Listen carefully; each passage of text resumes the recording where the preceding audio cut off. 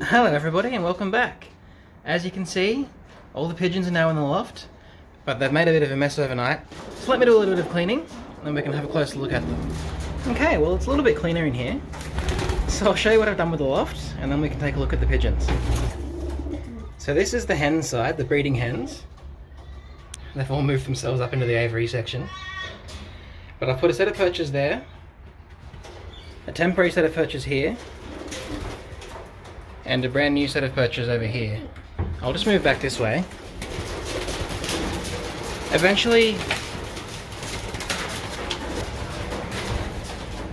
the birds still aren't very happy with me being in here, but anyway, let's carry on. Eventually this back wall is going to have breeding boxes. This set of perches is going to go, and it's going to be replaced with another tall one like this.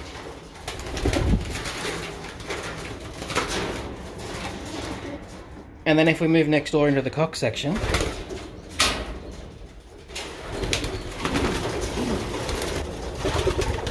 you can see that I haven't yet lined this back wall, but I will do it.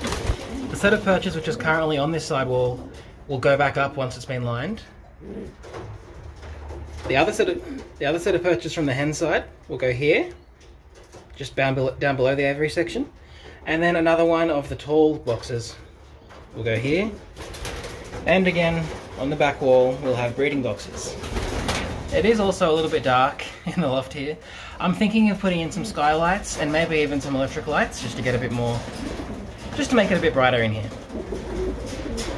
Anyway, let's take a look at the pigeons, but before we do, I would like to thank everyone who is a regular viewer of the channel, and especially the Patreon supporters. You guys have made it possible for me to have a loft like this, so I thank you very much for that. Uh, I do actually have a few Patreon benefits, so there's a link in the description if you'd like to check that out. But let's have a look at the pigeons. Now for all you guys who always think that I only keep coloured birds, and I don't have racing pigeons, you have a blue bar there, there's a blue bar there, a blue checker, now the blue bar in the corner.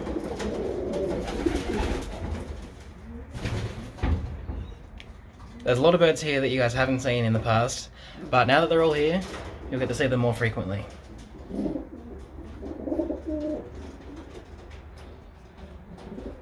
Here's one that you guys haven't seen for a long time and he's going to hide behind the black. It's our little tiger grizzle. I might pull him out now we can have a look. So this is a young little tiger grizzle cock and he's not very tame and he does not like being held. So I don't think we're going to get a very close look at him. If you've been watching the channel for a while, you might remember that I bred this guy last year at my old house. His parents were both tiger grizzles, and I'm pretty sure he's a homozygous tiger grizzle. That's why he's so white. I haven't done any breeding tests to confirm that yet, but if I am right that he is a homozygous tiger, it means that all his babies will be tiger grizzles which is a bit of a good thing because in general I'm not actually super impressed with this guy.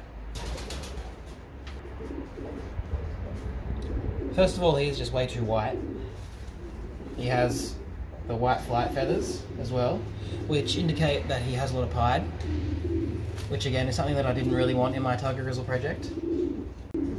And then just in general, he's just not a super nice handling pigeon.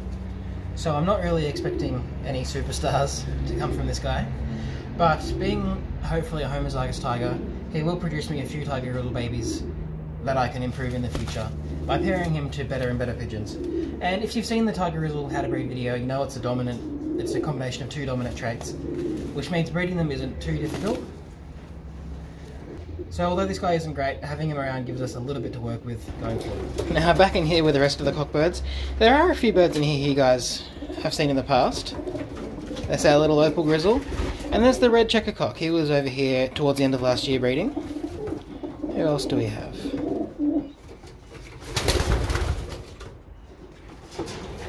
So other red opal. He'll be breeding again soon in the recessive opal spread project. We have this old guy, the black cock who carries brown. There's our half-sided mosaic. There's also the white birds who we picked up last year. We'll, we'll be breeding from them later on in the year.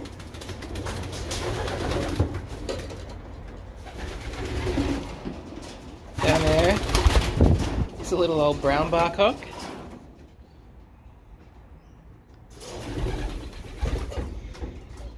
And of course, we have some blue bars, some blue checkers. Some of the normal coloured race birds that I do actually have, but you guys haven't seen too much of in the past. Anyway, let's move over to the hen side. There are a few less hens than there are cocks, but I still have a few too many in here.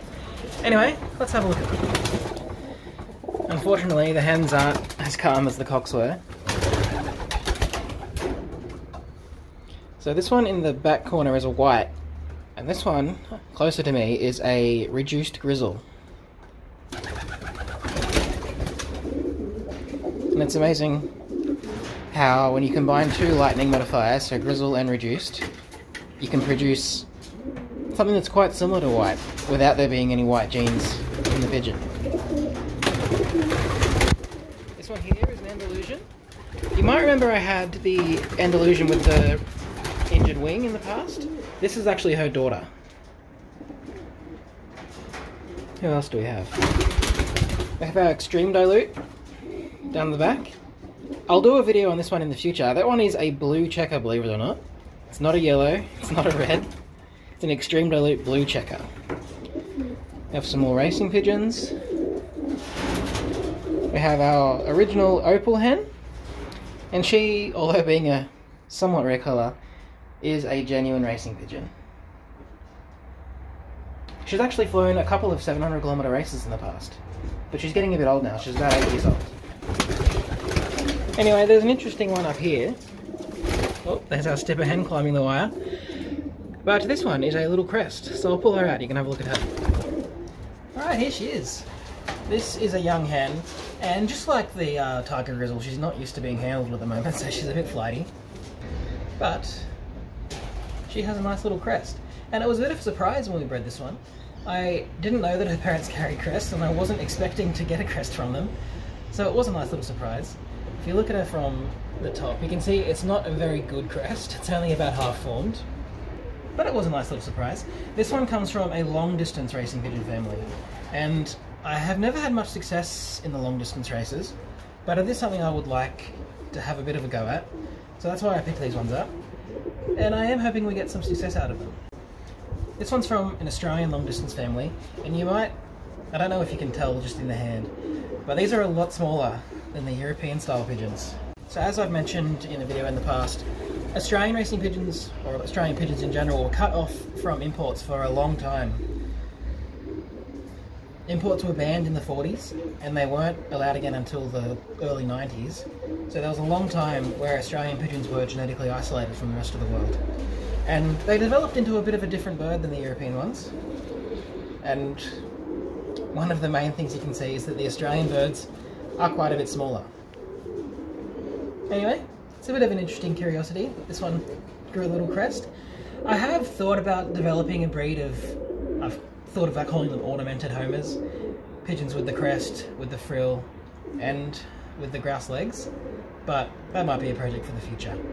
Anyway, I'll put this one back and let's go outside and have a look at the breeding boxes. So, like I've said in the past, I am almost finished with these outside breeding boxes. The birds that are in them at the moment will be the last pairs in them, and then I'll take these down and I'll put some nicer ones inside the loft. But let's have a look in here. These, this project will get its own video soon, but this guy actually carries barless. And this is the hen I've got him with at the moment. She's a very well-bred racing pigeon. She does have a bit of pied in her, which is not something that I really want in the barless project. But at the moment I'm just trying to put the best quality racing genetics into the project that I can. But like I said, these guys will get their own video, so let's have a look elsewhere. In here we have my little favourite old boy and his silver hen. Their eggs are due to hatch this week. So hopefully we'll get a nice little red out of them and we can carry on the yellow project. He's my favourite, this old boy. And then we have the reds, and it's been a long time since you've seen these guys. Last time you saw them, they were just getting their rings, and they've grown up a lot since then. I'm actually really happy with the colour of these guys. This one has the one white feather in its tail, and the other one appears to be just about pure red. And I know they will change in the molt, but the last round had a fair bit more white on them even in the nest. So I'm pretty impressed with these guys. It's a little bit of a shame that I'm not planning on keeping them. These ones are going to a friend of mine. But hopefully the next round, which I will be keeping, will come out just like this. Anyway guys, that's about it for today. I might just put the camera in the loft for a couple of minutes and you can watch the birds in the loft without me. They're a bit calmer that way. So if you want to watch that, make sure you stick around. But otherwise, thank you for watching. And like I said, thanks for the support, especially the Patreon supporters. I have left a link down below. If you want to check it out, please feel free. I really do appreciate it. But that's all for today, guys. Enjoy.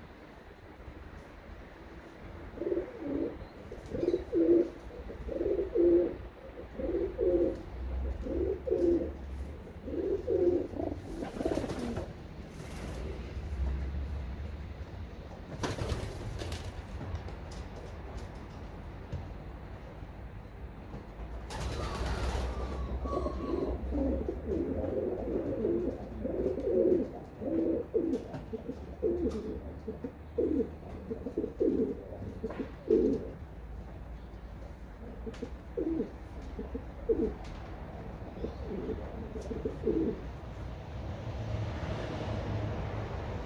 you.